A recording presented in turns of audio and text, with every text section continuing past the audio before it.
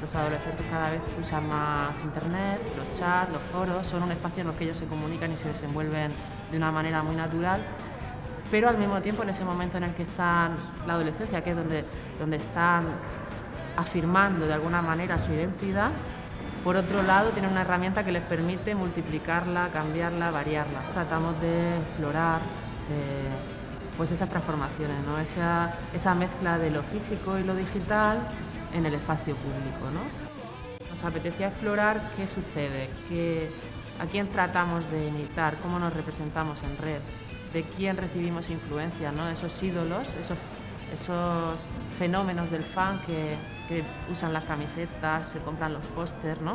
pues ahora además se pueden eh, presentar socialmente a través de la tecnología imitando gestos ¿no? y se sienten influidos y su personalidad se va conformando eh, con esas influencias. Hemos reproducido lo que sería la pared de una habitación de un adolescente colocando una serie de pósters de, personas o ídolos o de eh, fan ¿no? de este momento y luego también dentro de esa habitación está un ordenador, ese elemento que cada vez está más presente o totalmente presente en las habitaciones de los adolescentes de hoy en día.